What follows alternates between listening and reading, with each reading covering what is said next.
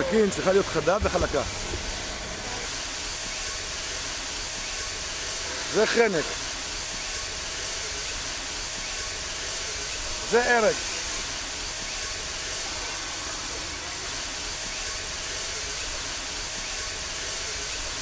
זה סקילה.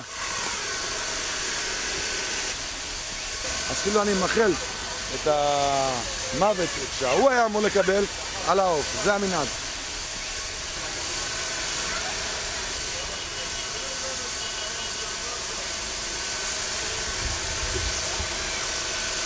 אתה רואה מה אני שלחתי לו? שני הסימנים, קנה ואשת.